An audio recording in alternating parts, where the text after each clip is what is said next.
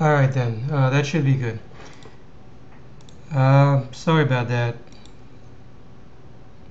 The music was mu- well. How about now, Thomas? Is the uh, is the sound better now, or I think I had to uh, refresh, and at the same time refresh the uh, the recording device.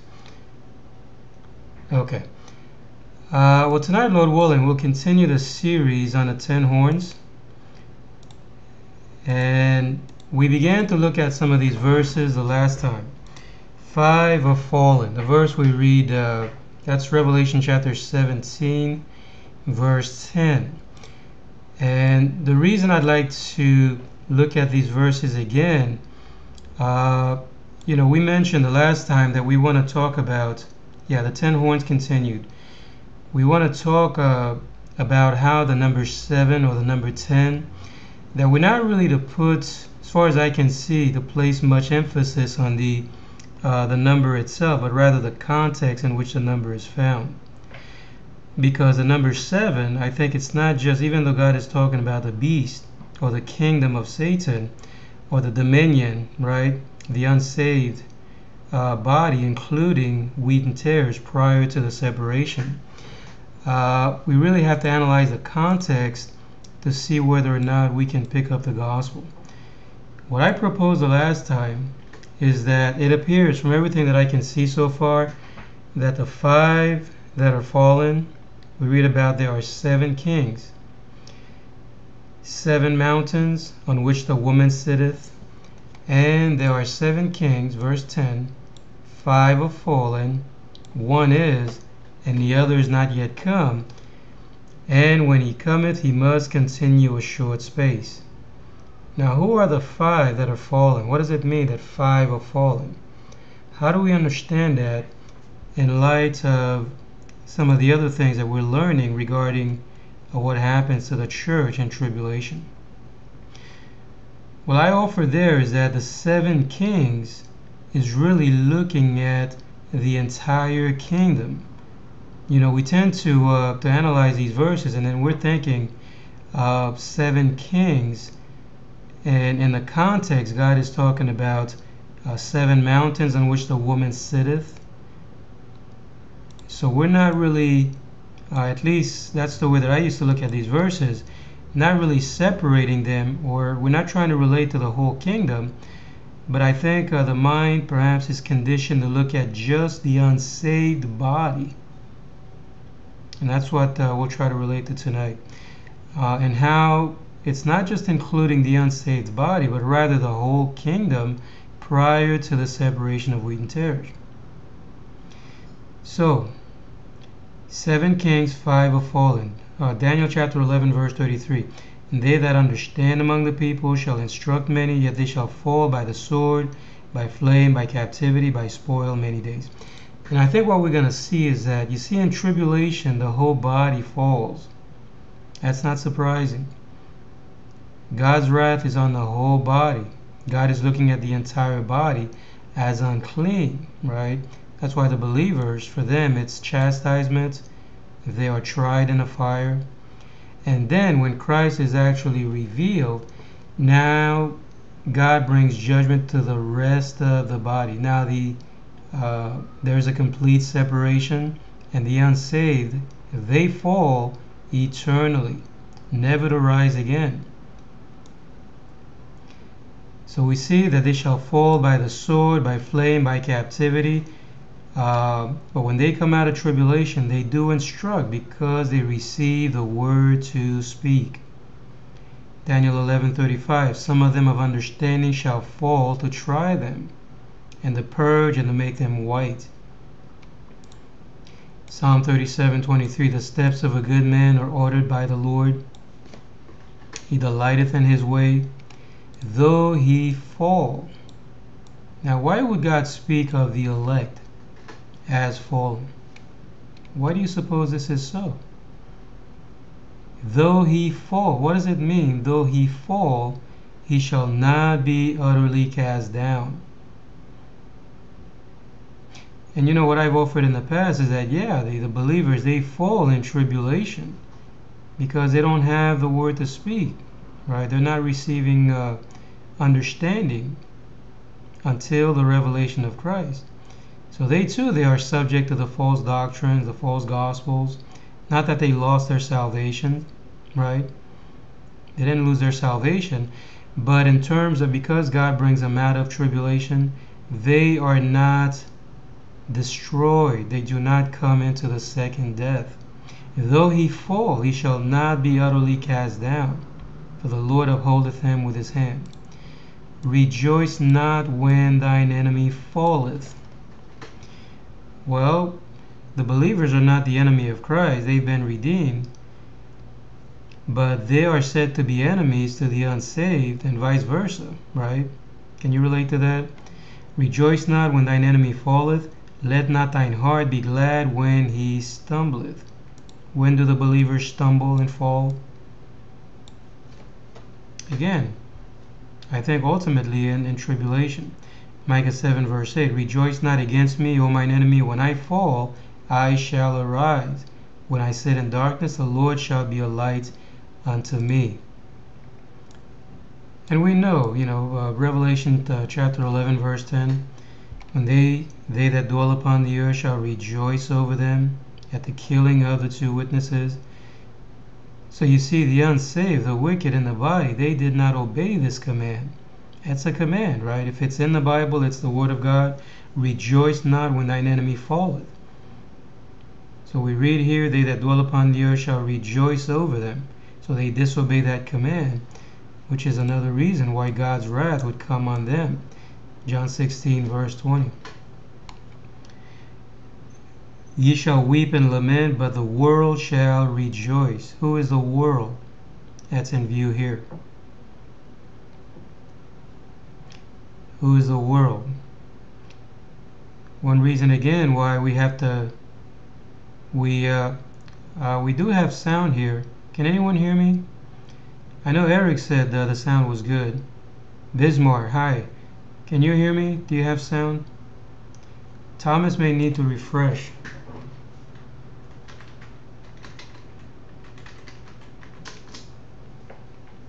Unsaved body. Yeah, exactly, uh, Bismarck. Um, yeah, we're looking at the church, the corporate body. And so they rejoice at the killing of the two witnesses. Ye shall weep and lament, the world shall rejoice. Ye shall be sorrowful, but your sorrow shall be turned into joy. When does that happen? Well, again, at the revelation of Christ, right? Psalm 38, verse 16. Uh, hear me, lest otherwise they should rejoice over me when my foot slippeth. Same idea, I believe. Those who fall in tribulation. God abandons the whole body, the whole church. So the kingdom falls at the wrath of God. And the unsaved, they rejoice at the killing of the two witnesses for a time, for a season. Uh, Obadiah chapter 1, verse 12. How about now, Thomas? Can you hear me? Obadiah chapter 1, verse 12. But thou, okay, good shouldst not have looked on the day of thy brother in the day that he became a stranger. Uh, neither shouldst thou have rejoiced over the children of Judah in the day of their destruction. Interesting how God is speaking of their destruction. So again, uh, I propose that the believers, the elect, they're a part of the body prior to the separation. So the whole body is destroyed, it falls right, and tribulation. Lest mine enemies say, I have prevailed against them, and those that trouble me rejoice when I am moved. Psalm 35, verse 15. In mine adversity they rejoiced and gathered themselves uh, together against me.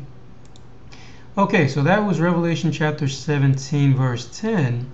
And I think here in the following verse, let me see if I can get that to post. Nope. I gotta break it up. I've got a few colors here. Now in verse 11, and the beast that was, let me uh, let me post the rest of the verse, and then I want to look at Revelation chapter 17, verse 10 again. So see, uh, you know, to try and pick up the thread. In Revelation chapter 17, verse 10, there are seven kings, five are fallen, one is, and the other is not yet come. When he cometh, he must continue a short space. And then in the very next verse we read, And the beast that was and is not, even he is the eighth, and is of the seven. Now I think, you know, before I used to look at this verse, I really couldn't make out uh, what God was saying here. But I think by God's grace, I understand why He would actually uh, phrase the verse. Now, the number eight is not mentioned, as uh, you know we talked about before. God started off speaking of seven kings. So why introduce the number eight here? Can you see that? Why would God say He is the eighth? And I think, Lord willing, it's a clue to show that this has to do with the redemption of the body. So that's the beast that had received a, a sword and tribulation, and it does include the elect, it does include the believers. Believe it or not, right? From everything that I can see, we read here again another verse that I think would confirm that. And I saw one of his heads as it were wounded to death. Right, exactly, Thomas. They are the same. And if uh, the number seven here is really looking at is looking at the church body in tribulation, the number eight is looking at the redemption, the salvation, the fact that the body has been redeemed. So it's still the you know it's still the same kingdom, it's the same beast, but now God begins to show the separation. The number eight I think is looking at the salvation of the body, the redemption, just as we see here in Revelation 13, verse 3. And I saw one of his heads. You know, the head has to do with whom? Who was the head of the body? It is Christ, right? And I think we're going to see also in the next section when we look at those that are plucked up by the roots, how there would seem to be a, a tie in there as well. So, can you see that? Revelation 17, verse 10, God speaks of seven kings, five are fallen. Yeah, seven kings, five are fallen. One is, the other is not yet come. And the other that is to come, I think it relates to uh, Satan going into perdition after Christ is revealed. All the world wondered after the beast. Same language here in Revelation 13, verse 3. So one of the head was wounded in tribulation, now the deadly wound was healed. So he is the eighth. He is the one, that is, that's the body that had received the death blow in tribulation, and now God is uh, God has made provision. He has redeemed the body. And yet he speaks of it as being of the seven. Can you see that? Now again, the reason I wanted to look at this is because this, I think, would seem to support the fact that the number seven is not just looking at the unsaved body. And if that's the case, well, then even the ten horns appears uh, to be looking at the church body, the entire kingdom. And that's why perhaps it's not surprising to see some verses that speak to salvation and other verses that would seem to speak to judgment. Very beautiful uh, parallel there, I think, Lord willing. Okay, let's see if we can uh, follow it up some more. The horns that are plucked up by the roots. And I believe here it is the, uh, the elect again falling before little horn. Now we read about little horn in Daniel chapter 7, verse 8. I consider the horns, that's the ten horns, and behold, there came up among them another little horn, before whom there were three of the first horns plucked up by the roots. Now, tell me, what is this uh, talking about? Who are the, uh, the horns that are in view? Three horns were plucked up by the roots.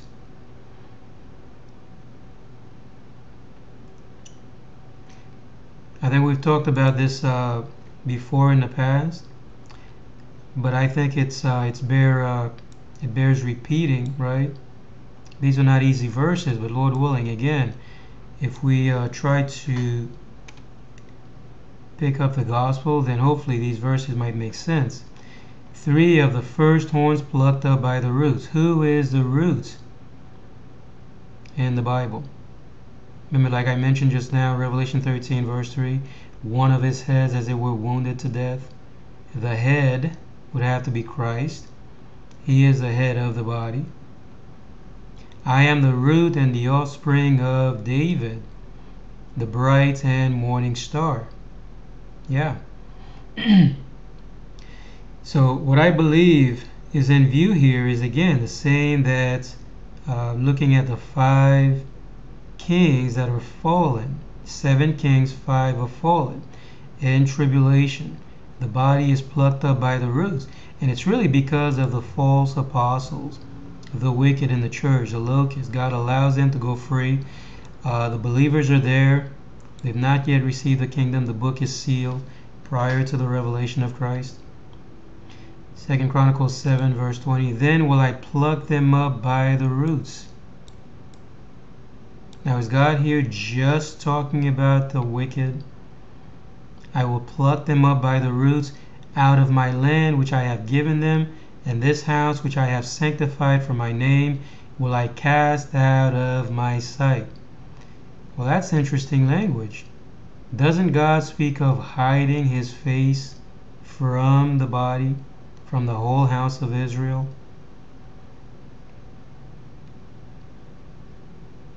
Now, who can tell me now when we read this language that somehow God would only be speaking of the wicked in the body? You know, when the children of Israel went to Babylon, everyone had to go into captivity. That's where they are delivered. They're, they're delivered from captivity. But prior to that, it's God's wrath, it's God's judgment that allowed the wicked king, Nebuchadnezzar, to come against the people of God, right? Taking the spoil destroying the city, taking the goodly vessels, and then taking everyone to Babylon. So they fall. And that was a picture of the church, the elect, being a part of the body at a time when God forsakes the body. You see that? Uh, 2 Kings 17, verse 20 The Lord rejected all the seed of Israel and afflicted them and delivered them into the hand of spoilers, cast them out of his sight.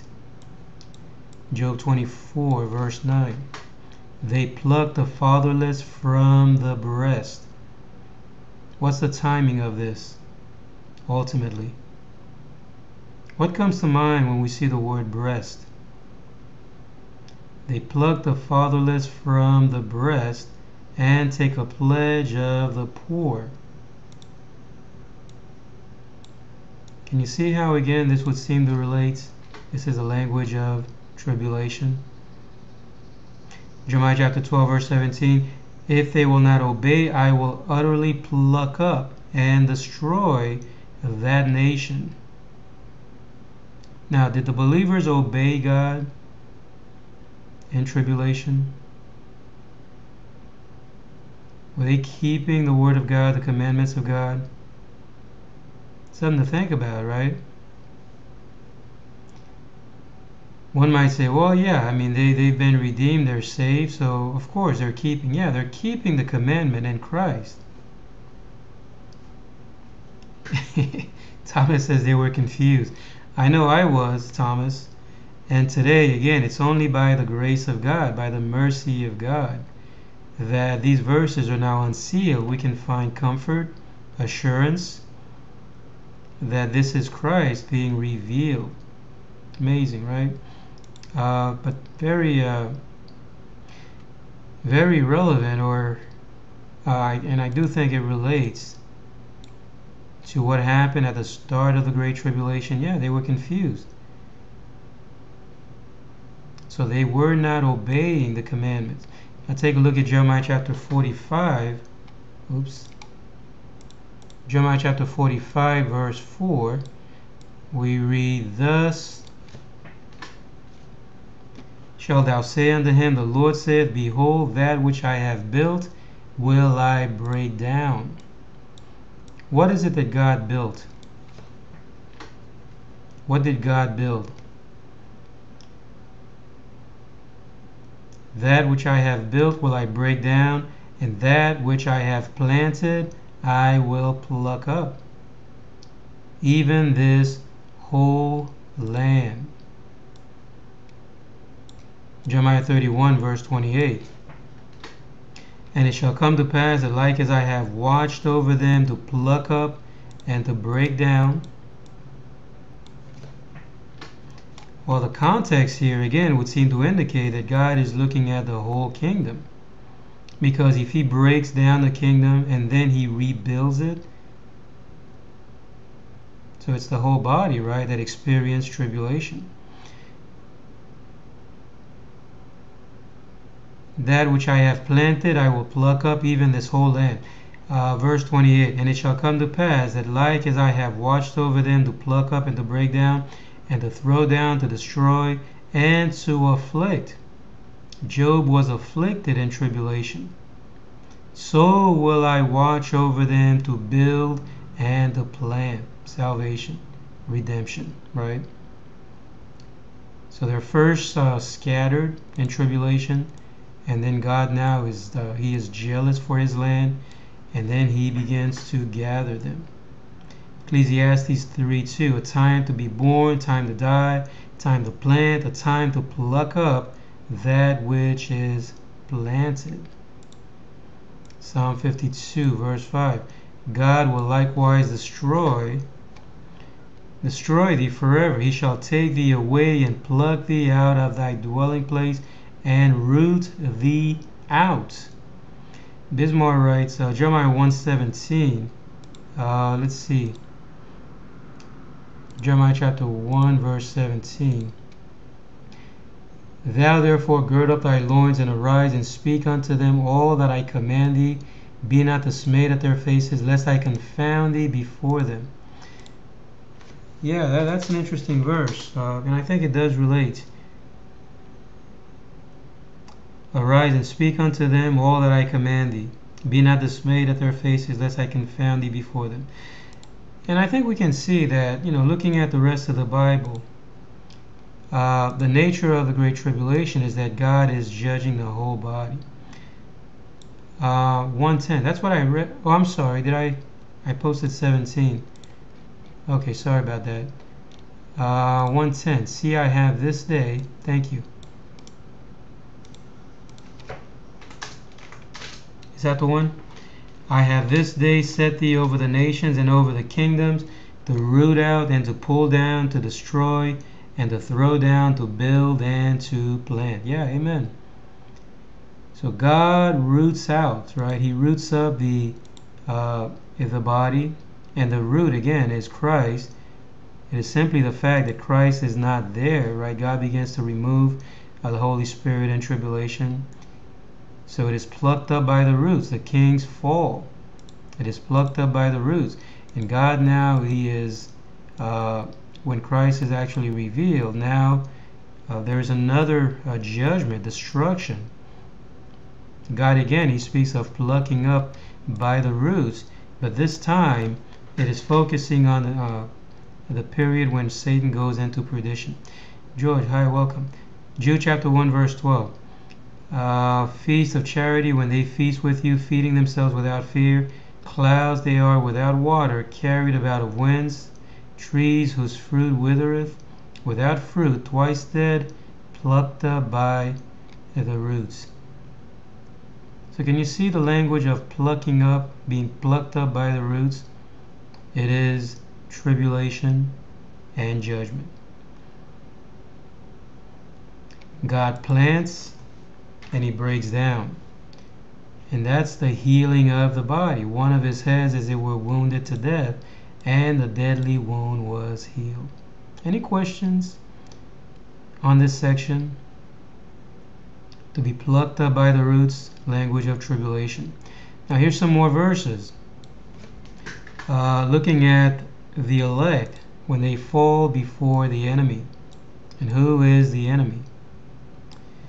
Yeah, trees, I believe, uh, that too is pointing to the church, uh, those in the body, Thomas. Uh, yeah, trees whose fruit, with yeah, the fruit withereth. In other words, uh, there's no blessing there, like the fig tree. shaken, it, it's not uh, bearing any fruit. Twice dead, plucked up by the roots.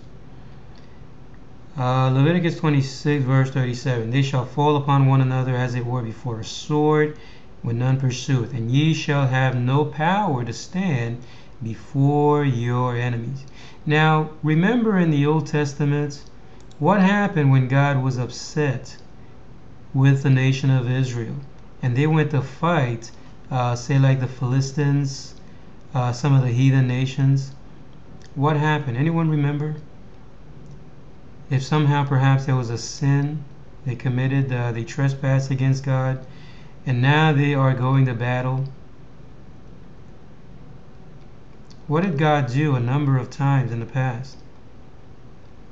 they got beat up. Yeah, Thomas, exactly. They fled from before the enemy. They were destroyed, and then they would begin to, to lament. How is it possible that God would allow us to fall at the hand of the enemy? Remember that? Yeah, God allows them to be destroyed.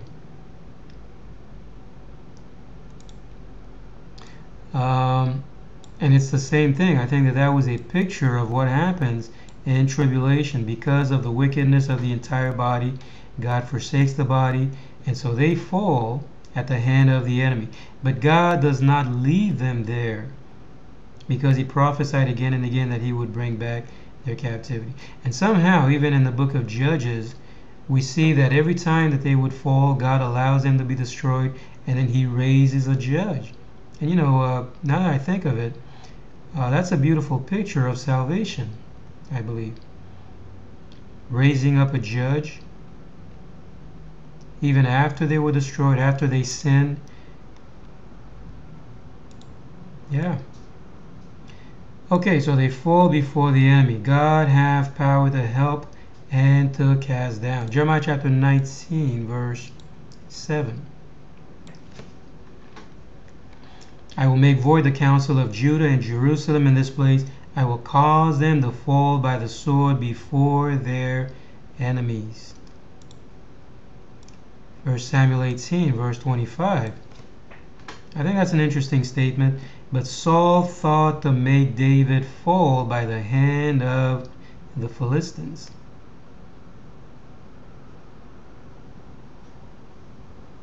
The king desireth any dowry dowry uh, but a hundred foreskin of the Philistines to be avenged of the king's enemies. So uh, we'd have to look at the context there, but I, I do believe, uh, from what I was able to pick up there, it would be a similar picture. 2 Samuel chapter 3, verse 38. I think this also relates. And the king, that's David, said unto his servants, Know ye not that there is a prince and a great man talking about Abner. A great man fallen this day in Israel. And Abner was Saul's cousin. Uh, and he was slain by Joab. So there I believe again is a picture of the body, the elect in tribulation. They're destroyed. They fall before the the enemy. Hosea chapter 7 verse 7. They're hot as an oven and have devoured their judges. All their kings are fallen. Remember, seven kings, five are fallen, one is, the other is not yet come. Are the believers kings? Or better yet, are the unsaved in the church? Are they kings? Can we look at them as kings and priests? Yeah. Yeah, the, the whole body, right? I am the head. Uh, Christ is the head of the body. I am the vine, ye are the branches. So Christ is a king. So even if we're looking at the unsaved, I think it's safe to say, Lord willing, that they too, they are kings. So not surprising that seven kings is looking at the church, corporate body, prior to the separation. Yeah, good kings, bad kings. Well, actually, all the kings were bad if you if you think about it. Uh, coming into the Great Tribulation, I think that's what's in view there. Seven kings, five have fallen. Uh, but yeah, the the good kings identify with Christ, But it is an evidence, we begin to see the evidence of that when? At the revelation of Christ, right? Christ is revealed. Okay, uh, Jeremiah chapter 39, I'm sorry, uh, 38, verse 19. But yeah, Thomas, I do agree. Uh, good kings and bad kings. Zedekiah the king said unto Jeremiah, I am afraid of the Jews that are fallen to the Chaldeans. The Jews fall to the Chaldeans. What's another name for Chaldea or the Chaldeans?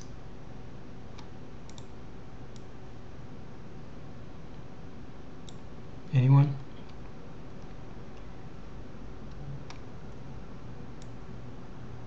Yeah, the Babylonians. I agree. Uh, Jeremiah chapter 20, verse 4 Thus saith the Lord, Behold, I will make thee a terror to thyself, to all thy friends, and they shall fall by the sword of their enemies. They fall by the sword of the enemy. And Thine eyes shall behold it. And I will give all Judah. See again, God there did not stop and say, Well, let me separate the believers. There had to have been believers, wouldn't you say? There had to have been believers in the land of Judah at the time when God allowed them to be taken captive. I mean, correct me if I'm wrong. But even there, God does not seem to be uh, separating. He is not saying, okay, well, let me just separate. You know, I, I don't think it's fair because these, uh, you know, they identify with Christ. And why should they go into captivity? Why, why should they be subject to the king of Babylon? But we don't read that though, do we? Everyone had to obey. Now I know in the context God speaks of uh, leaving some of the poor of the land to be vine dressers. And there again, I think that's a picture, Lord willing, uh, Lord willing, within a picture. And that too would seem to relate to salvation. Those that are left. And he shall carry them captive into Babylon. They fall to the Chaldeans. Proverbs 7 verse 25 Let not thine heart decline her ways. Yeah, thank you, Bismarck. Uh, Daniel too, he was taken to Babylon. So, and, and by the way, that's a command, I believe. You know, the body, everyone had to obey. They had to bring their necks uh, under the yoke of the king of Babylon. If they didn't, then they would show, they would be shown to be in rebellion against God right? And now because they go to Babylon, God redeems them at the appointed time. Christ is revealed, and now God begins the separation. Now they're allowed to go back to the homeland to rebuild. Salvation come out of her, my people. Let not thine heart decline to her ways, go not astray in her paths, for she hath cast down many wounded. Who is that? She hath cast down many wounded, yea, many strong men have been slain by her. Five are fallen. The body fell to the enemy in tribulation. Uh, and also a couple of side verses, uh, I think also relate, perhaps indirectly. Luke chapter 11, 17. Uh, every kingdom divided against itself is brought to desolation. A house divided against itself against the house falleth. And I propose that the kingdom is divided in tribulation. It becomes two. And then God brings the two sticks together. At the revelation of Christ, it becomes one kingdom. Right? The wolf and the lamb shall feed together. Um, okay, so that that's some other verses, Lord willing, for consideration. And then finally, to look at uh, just a few verses on the, uh, the judgment side. When Christ is revealed, the unsaved body, now God speaks of it as falling. Uh, and then he also uses the elect. He uses the elect as well as the wicked in the body to destroy the unsaved. And five of you shall chase a hundred, a hundred of you shall put ten thousand to flight, and your enemies shall fall before you by the sword. Psalm 18, verse 38. I have wounded them that they were not able to rise. Now, who are the ones that are not rising? God wounds the whole body in tribulation, and I saw one of his heads as it were wounded to death. So the whole body is wounded in tribulation, right? But here, the fact that they are not able to rise, well, that would seem to relate to the wicked. They do not, while they rise, God speaks of the hour cometh when all that are in the grave shall hear his voice. They rise spiritually to stand for judgment. Yeah, exactly, Abysmore Babylon. They stand for judgment, but God does not give them ears to hear. And so, from that vantage point, they would, uh, God speaks of them as not rising. They're not being redeemed. They're not rising to life. Instead, they rise to judgment. They rise so that they can be put to death. Again, uh, and that, that might be the reason why God speaks of double destruction. It's either that or the fact that God is using both the wicked as well as the, the elect to destroy the body. Somewhere along the line, that might be the case, Lord willing. Uh, Psalm 20, verse 8 They are brought down and fallen, but we are risen. The believers, they rise, they come out of Babylon. God redeems them, which is what I believe is going on today. Okay, and finally, Ezekiel 38, verse 20. Uh, we read about the fishes of the sea, the fowls of the heaven, the beasts of the field, creeping things.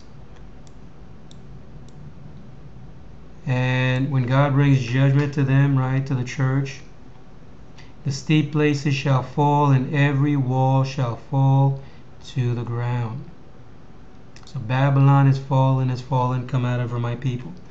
But before, prior to the fall of Babylon, who was it that fell? The wicked reign, uh, they, they rise in tribulation, they put to death the elect. And then when Christ rises, when the body rises, God destroys the wicked. Okay. All right, a very quick conclusion, and then we can uh, open for discussion. The Bible appears to be equating the five kings that are fallen, Revelation 17, verse 10, to the elect body falling to the enemy in tribulation. They too are said to be kings prior to the separation. And God seemed to be looking at the number seven. By the way, I didn't mention that before. What is the number seven spiritually would be uh, pointing to in this context? Seven kings, five have fallen. God speaks of seven mountains. The number seven, I mentioned before, I think it relates, it ties into the Great Tribulation, it has to do with judgments depending on the context. The same thing with the number five.